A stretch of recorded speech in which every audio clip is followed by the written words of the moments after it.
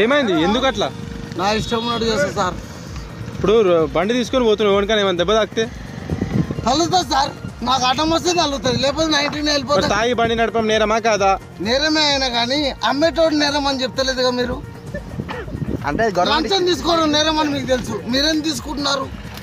ఆ డబ్బు. చెప్పండి.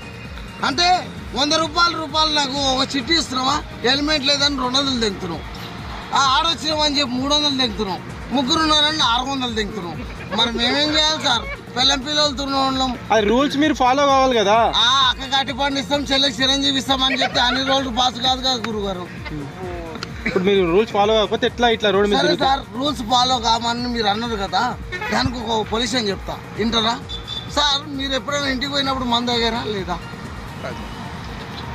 తాగాం మరి నువ్వు తాగినప్పుడు నా మోటార్ దాంట్లో ఒక ఎంప్లాయీ పోయి నువ్వు తాగినప్పుడు నేను తాగడానికి చిల్లలు కానీ దానికే ముందు. మేము బండ్ల మీద ఇట్లా ట్రావెల్ చేయట్లేదు కదా? ఇటుకాడ తాగి మా కుత తారు మీరు మేము రోడ్డు మీద తాగి మా కుత కానీ. అమ్మా. సరే ఇది బండి ఏ ఊరు మీద. మాది అసురాలు విలేజ్ గ్రామం కొండ అసురాలు కాండి. ఏం చేస్తావు? దుందికెళ్ళి పియేస్తారా ఏం చేస్తావు నువ్వు? నువ్వు ఏం ఏం పని చేస్తావు? ఆటో డ్రైవర్ని.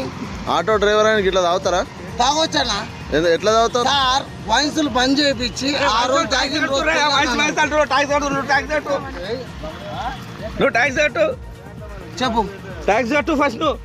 ఎందుకు ట్యాక్స్ కడతానా? మరి తాగినోడు ట్యాక్స్ కట్టాలి అమ్మేటోడు కూడా ట్యాక్స్ కడుతుండు. అంటే రెండు వందల డెబ్బై రూపాయలు మీరు తీసుకొని ఆడ తీసుకోపోయి నూట నలభై రూపాయలు ఛాలెంజ్కి ఆరు వేల ఐదు వందల రూపాయలు ఛాలెంజ్ చేసి దానికి మళ్ళీ జైన్ శిక్ష ఏ పని మేము? ఆరు వందల డెబ్బై రూపాయలు టీవీ చూపిస్తాను లౌడ నాకు తెలియదా? నీళ్ళు పడితే ఇంటికి పోవాలి రెడ్డి పడితే ఆగాలని మాకు తెలియదా? ఆమె బతకదా మీరు బతకాలంటే మీరు మేము. జీతాలు ఇస్తలేదా?